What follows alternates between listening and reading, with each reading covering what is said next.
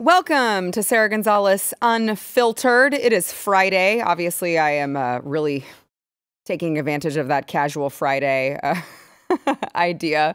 So, you guys, you may remember uh, the North Carolina mother, Leah McGee, whose son, Christian, he was a student athlete at Central Davidson High School. He was suspended back in April for asking his teacher if the term alien on a classroom assignment referred to a space alien or illegal alien. So he used the term illegal alien, which apparently is the deadly sin now. All right. So his teacher and his school administration labeled him a racist for asking this innocent question. Uh, they said it was the equivalent of saying the N word and then ultimately suspended him for multiple days from school with no chance of appeal. He was also prohibited from competing in a season defining track meet. Oh, and by the way, after he was labeled a racist, uh, his family, as you would assume in this woke world, got all sorts of death threats because, oh, now Christians are racist. Well, Last we spoke with Leah and her attorney from Liberty Justice Center. They had filed a lawsuit against the Davidson Board of Education for violating Christians' First and Fourth Amendment rights. But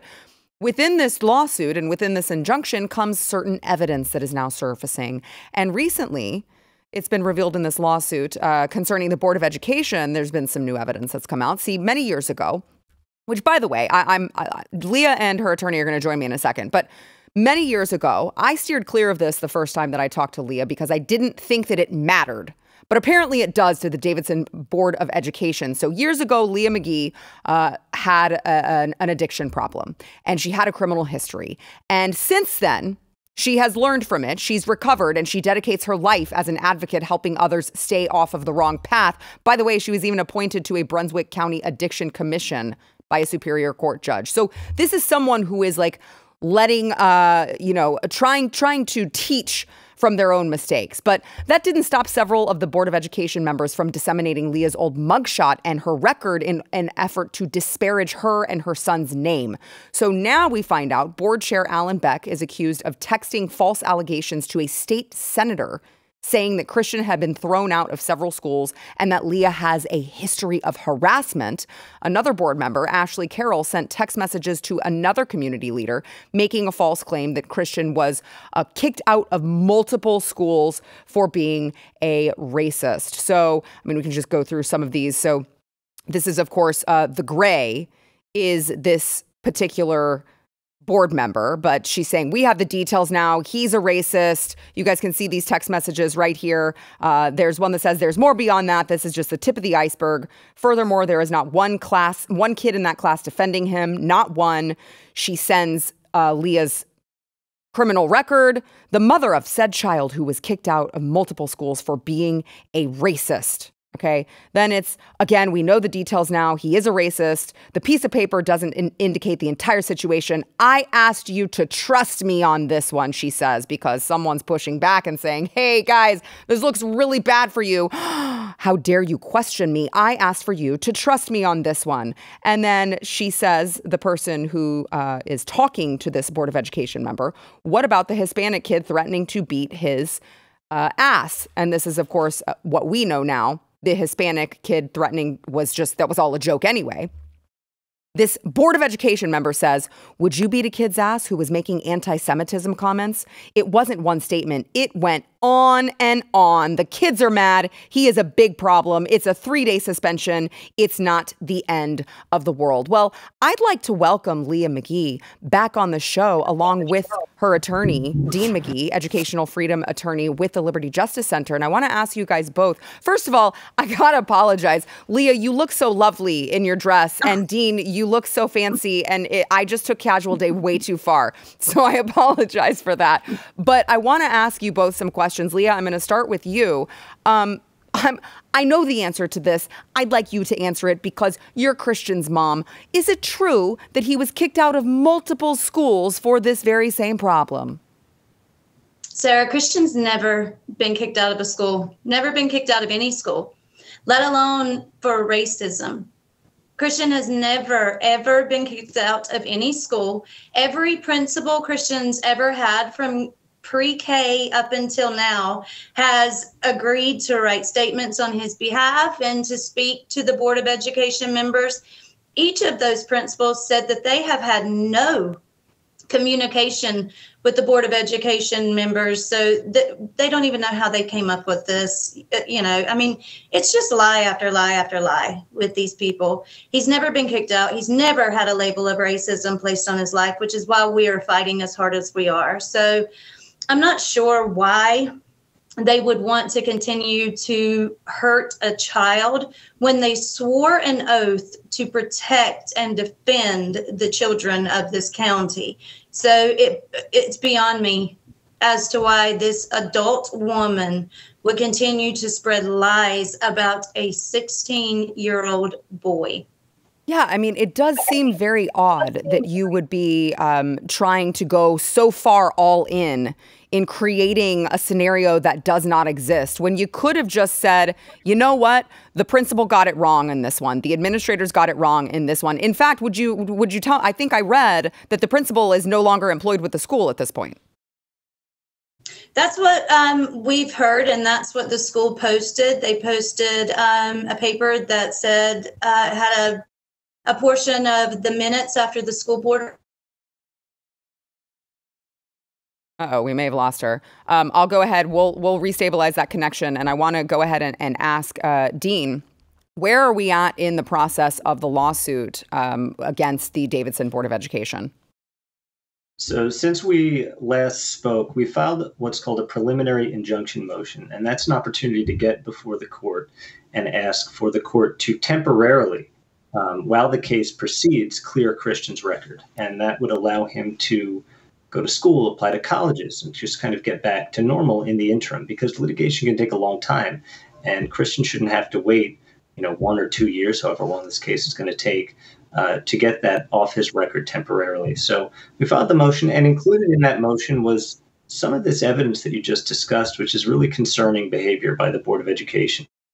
Yeah. Uh, so I guess another question for you would be I'm reading this and I'm thinking, in my average person mind, not being an attorney like you, I'm thinking, well, if she's spreading rumors that you maybe could prove she knows is not true that Christian was, you know, uh, suspended from other schools for having a history of being a racist, and you guys know that's not true. Is there any sort of defamation claim that you guys can add into this lawsuit, being that that's just a, a complete lie? Yeah, I, I, mean, I'm I'm comfortable telling you that we are um, speaking with North Carolina Counsel about pursuing uh, state law defamation claims. Right. Um, you know, our, look, our our case, Christian is my client, and and you know, we are filed, we filed a lawsuit in federal court to vindicate his constitutional rights as they relate to the suspension. But this other behavior is relevant, and yes, you know, it was it's one thing to spread the mugshot, which is disgusting behavior and an attack. And, but they've taken it a step further where they seem to have just invented allegations right. against Leah and Christian. So the short answer to your question is yes, absolutely.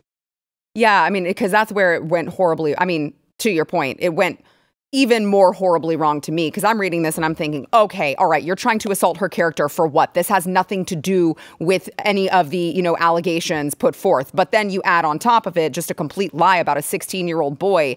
And now, if I'm the mom, like I'm out for blood, not literally. I just want to make sure to say that because you're an attorney, right? Not literally, but I'm just saying, like, my mama bear claws are coming out. And I'm like, how dare you just lie about my son to a community member who I assume, I don't know who this community member is, but but I assume this is someone who has like some pull within, you know, the city or at least the the the, uh, the school system. So we, we know that the state senator was contacted with these misrepresentations. We know that yes, this is a local, you know, community leader who was contacted. Another person who used to work for the court system uh, was contacted with messages, and those messages uh, when when this board member shared the mugshot, she said to this former law enforcement officer, "But didn't you work hard to get drug dealers off the street?"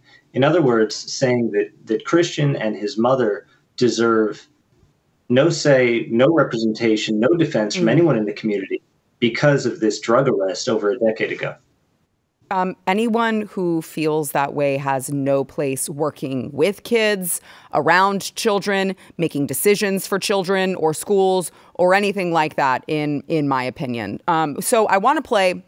I'm not sure if we're going to get Leah back on or not, but I do want to play uh, part of your evidence, which is the recorded conversation that um, Christian's parents was it just Leah or was it Leah and her husband? Leah and her husband, but Leah took the lead in the conversation. Okay, so it's both of them talking to uh, the what the assistant principal. This is the assistant, the assistant principal who who was sort of the motivating force in the suspension. Right. Okay. So here here is some of that conversation. Watch. He swears to me he wasn't trying to be intentionally rude by asking that. So I, I talked to him about asking that question by saying illegal alien versus, oh, are those those people that need a green card? Like there's mm-hmm. respectful ways of asking that question, and there are very disrespectful ways of asking that question. And, and I agree the three days out of school is harsh, mm-hmm. but it's a line we drew in August.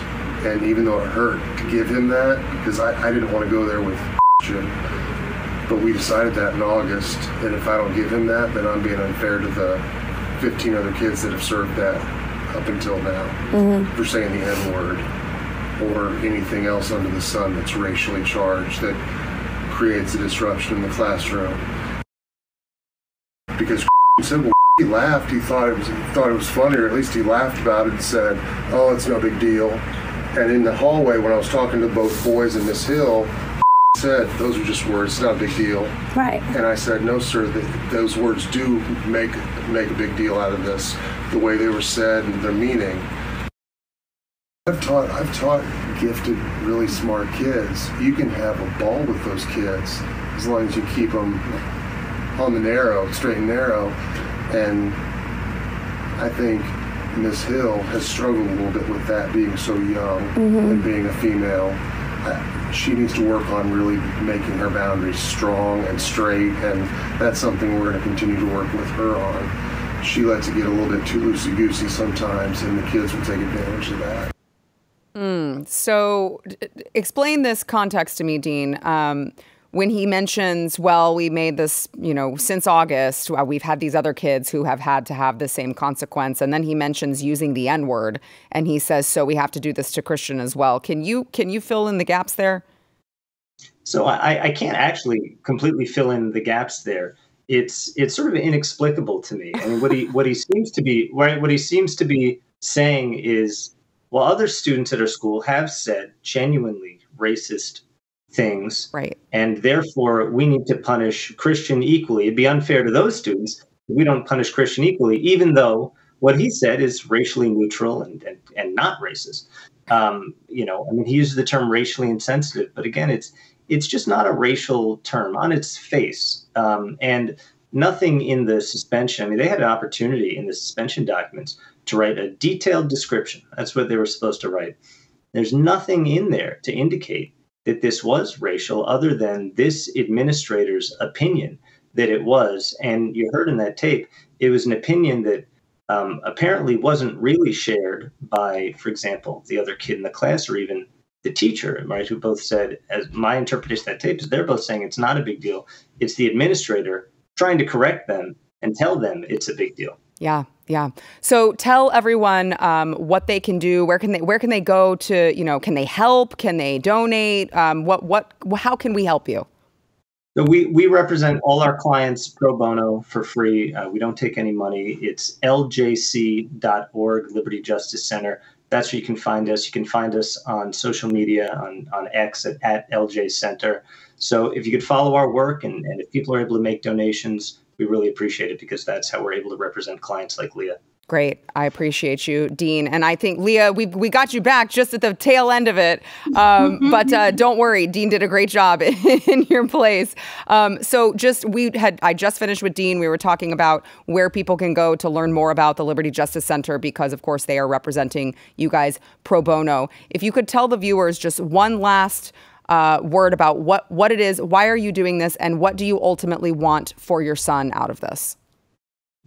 Well, we're we're fighting it because it's just wrong on every level. Alien's not a race; it can't be racist. Um, we're also, you know, fighting against the lies that are being spread about our child, um, as any mother I think yeah. would. And you know, we're standing up against the smear campaign. It was tacky It was tasteless. Um, it really reflects the character of those that are on the board. They attempted to assault my character and failed miserably, but their malicious character was in turn highlighted. So we're hoping that the public can see that. Um, what we want more than anything is for an apology, a very public apology, and not just. Uh, oh, I'm sorry your feelings got hurt, or in the South, a bless your heart. No, I want you to say what you're sorry for, that you lied about my son being kicked out of schools. I want you to say in detail what you, you're apologizing for. I also want the three days that he missed out of school credited back to him and uh, the uh, racism label removed and the suspension reversed. Sara, I don't think that's a big request. Not. So the fact that they are unwilling to do, do to do so shows the prideful nature of the board that we're up against. Um, it's a simple fix, but for some reason they're unwilling to do so. Well, it is a, uh, a simple fix, but um, in the event that they continue fighting that, there is another simple fix at the ballot box that I hope will be uh, utilized uh, a lot. So, Leah, thank you so much. I appreciate you. I am in your corner. I just, as a mm-hmm. mom, I can't imagine uh, what this must feel like. And you just keep us posted on what we can do to help. Thank you. Thank you, guys. See ya. Oh my gosh. These freaking public school administrations and teachers just like we've got to burn the entire system down. And honestly, I was going to say start over, but I don't even really want to start over when it comes to public schools. If you like this clip and you want to see the full episode, click here. And if you want to subscribe to the channel, come on, you know you do. Click here.